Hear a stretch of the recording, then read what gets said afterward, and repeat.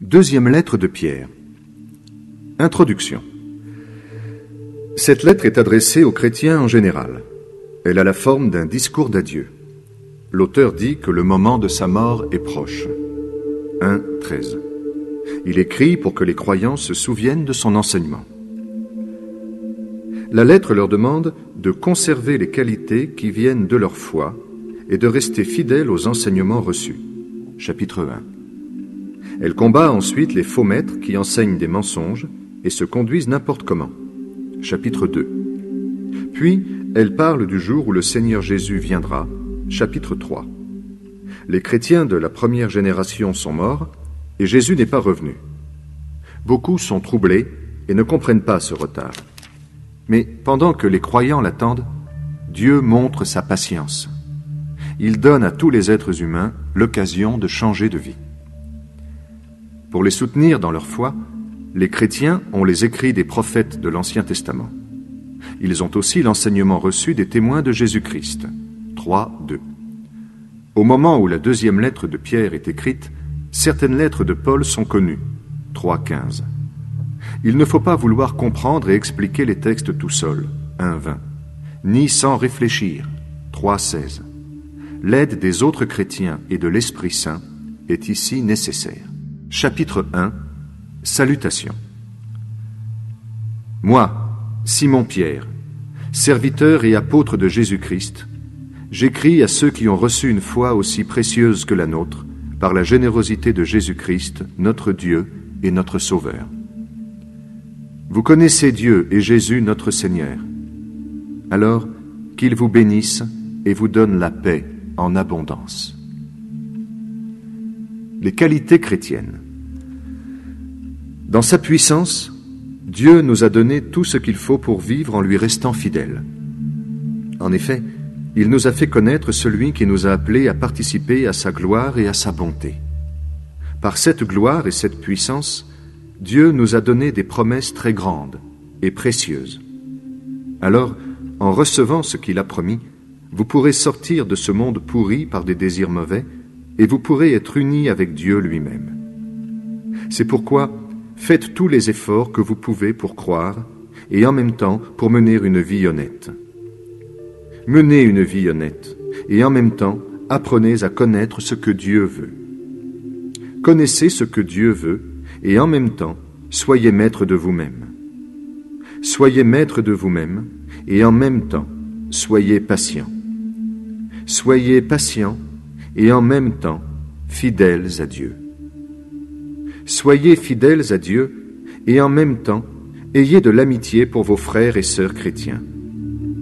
Ayez de l'amitié pour eux et aussi de l'amour. Voilà les qualités que vous devez posséder. Et si vous les possédez en abondance, vous serez actifs et vous serez capables de mieux connaître notre Seigneur Jésus-Christ. Mais si quelqu'un ne possède pas ces qualités, il ne voit pas clair, et il ressemble à un aveugle. Il oublie qu'il a été lavé de ses péchés d'autrefois. Alors, frères et sœurs, faites encore plus d'efforts pour rester fidèles à l'appel de Dieu et au choix qu'il a fait de vous. Si vous vivez de cette façon, vous ne risquez pas de tomber dans le mal. Oui, Dieu vous ouvrira largement l'entrée du royaume sans fin, du royaume de Jésus-Christ, notre Seigneur et notre Sauveur la fidélité à l'enseignement reçu. C'est pourquoi je veux toujours vous rappeler ces choses. Pourtant, vous les connaissez déjà, et vous restez fidèles à la vérité que vous avez reçue.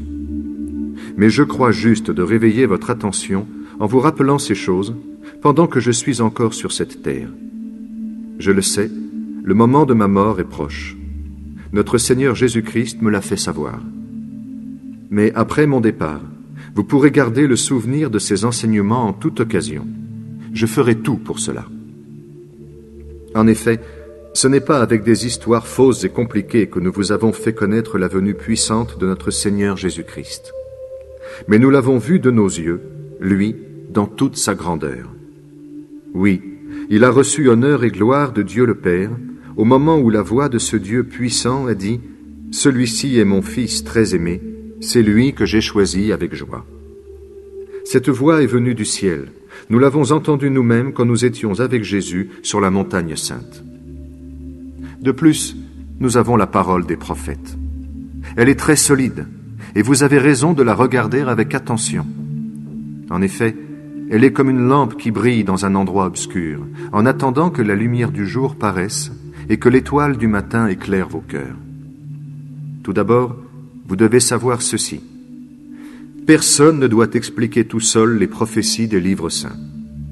En effet, personne n'a jamais communiqué une prophétie par sa seule volonté.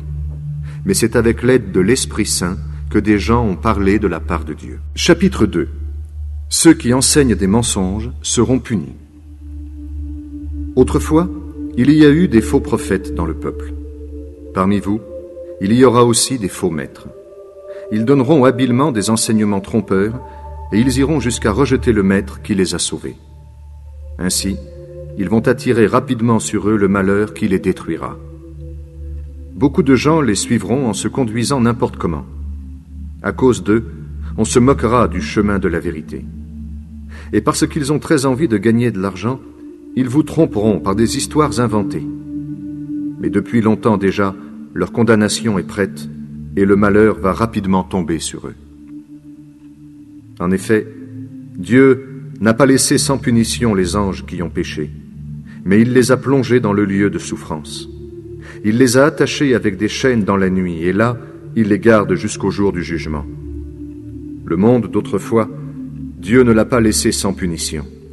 Mais quand il a noyé le monde de ses ennemis au moment de la grande inondation, il a sauvé seulement Noé, lui qui annonçait la justice que Dieu demande, et sept autres personnes. Dieu a aussi condamné les villes de Sodome et de Gomorre en les détruisant par le feu. Cela devait servir d'exemple aux gens mauvais pour leur montrer ce qui allait leur arriver. Lot habitait au milieu de gens qui se conduisaient n'importe comment, mais lui-même était un homme juste. Il était très triste à cause de leur conduite. En effet, il les voyait et il les entendait, et jour après jour, son cœur d'homme juste souffrait beaucoup de leurs actions mauvaises mais Dieu l'a délivré de ces gens-là. Cela montre donc que le Seigneur peut délivrer de la souffrance ceux qui lui sont fidèles. Et il peut garder en réserve les gens mauvais pour les punir le jour du jugement. Il punira surtout ceux qui suivent les mauvais désirs de leur corps. Ceux-là cherchent seulement à faire des actions impures et ils méprisent l'autorité du Seigneur. Ces faux maîtres ont trop confiance en eux. Ils sont orgueilleux et ils n'ont pas peur d'insulter les esprits glorieux du ciel. Même les anges ne jugent pas ces esprits et ils ne les insultent pas devant le Seigneur. Pourtant, les anges sont plus forts et plus puissants que ces faux maîtres. Ces gens-là sont comme des animaux sans intelligence, faits pour être pris dans des pièges et pour être tués.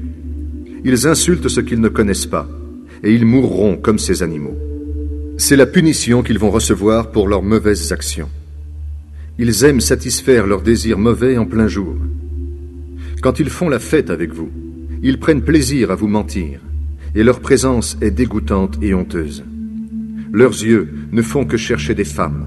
Ils ont toujours envie de commettre des péchés. Ils attirent ceux qui sont faibles. Ce sont des hommes qui cherchent toujours à gagner quelque chose. La malédiction est sur eux. Ils ont abandonné le bon chemin et ils se sont perdus. Ils ont suivi la route de Balaam, le fils de Bozor, à qui on a offert de l'argent pour faire le mal. Et Balaam s'est laissé attirer par cet argent. Mais il a entendu des reproches pour sa faute. Une ânesse muette s'est mise à parler avec une voix humaine et elle a arrêté l'action stupide du prophète Balaam. Ces faux maîtres sont comme des sources sans eau, comme des nuages poussés par un vent violent. Dieu leur a réservé une place dans la nuit la plus noire. Oui, avec leurs discours ronflants complètement creux, ils attirent ceux qui viennent à peine d'abandonner la vie avec des gens dans l'erreur. Pour cela, ils se servent des désirs honteux du corps et ils leur promettent la liberté. Pourtant, eux-mêmes sont esclaves des plaisirs qui les détruisent. En effet, quand une chose nous domine, nous sommes ses esclaves. Ceux qui connaissent Jésus-Christ, notre Seigneur et notre Sauveur, ont abandonné les mauvaises influences du monde, mais ils peuvent se laisser reprendre et se laisser vaincre par elles. Alors leur situation est finalement bien pire qu'avant. Ils ont connu le chemin qui mène à la justice, mais ils ont abandonné les commandements de Dieu qu'on leur avait appris. Dans ce cas, il aurait mieux valu qu'ils ne connaissent pas ce chemin. Maintenant, ce qui leur est arrivé montre la vérité de ce proverbe.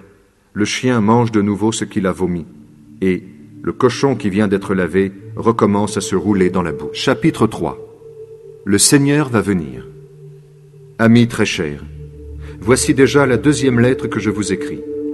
Dans ces deux lettres, je fais appel à vos souvenirs pour vous aider à penser d'une manière correcte. Souvenez-vous des paroles que les saints prophètes ont dites autrefois. Souvenez-vous aussi des commandements que les apôtres vous ont enseignés. Ce sont les commandements du Seigneur, le Sauveur. Tout d'abord, voici ce que vous devez savoir. Dans les derniers jours, des gens vont venir. Ils vivront en suivant seulement leurs désirs mauvais. Ils se moqueront de vous en disant Jésus a promis de venir, n'est-ce pas? Eh bien, où est-il? En effet, nos pères sont morts. Pourtant, tout est comme avant, depuis la création du monde. En disant cela, ils oublient une chose. Le ciel et la terre ont été créés voici très longtemps. Par sa parole, Dieu a fait sortir la terre de l'eau et il l'a formée avec de l'eau. C'est également avec de l'eau, l'eau de la grande inondation, que le monde d'autrefois a été détruit. De la même façon, la parole de Dieu garde en réserve le ciel et la terre d'aujourd'hui pour le jour où les ennemis de Dieu seront jugés. Ce jour-là, le ciel et la terre seront détruits par le feu. En tout cas, amis très chers, n'oubliez pas ceci. Pour le Seigneur, un jour est comme mille ans, et mille ans sont comme un jour. Le Seigneur va bientôt accomplir sa promesse. Pourtant, certains disent qu'il est en retard. En fait, il est patient avec vous. Il ne veut pas que certains meurent pour toujours, mais il veut que tous arrivent à changer leur vie. Le jour du Seigneur viendra comme un voleur. Ce jour-là, le ciel disparaîtra avec un bruit terrible. Le feu détruira les étoiles du ciel. La terre et les actions de ses habitants seront jugées. Puisque tout cela doit disparaître, vous comprenez bien quel genre de vie vous devez mener. Vous devez vous conduire comme Dieu veut et lui rester fidèle. Vous attendez que le jour de Dieu arrive et vous souhaitez qu'il vienne vite. Ce jour-là, le feu détruira le ciel et les étoiles fondront dans une chaleur brûlante. Dieu a promis un ciel nouveau et une terre nouvelle où la justice habitera. Oui, c'est ce que nous attendons. Appel à faire attention. C'est pourquoi, amis très chers, en attendant ce jour, Faites des efforts pour être sans défaut et sans tâche, en paix avec Dieu.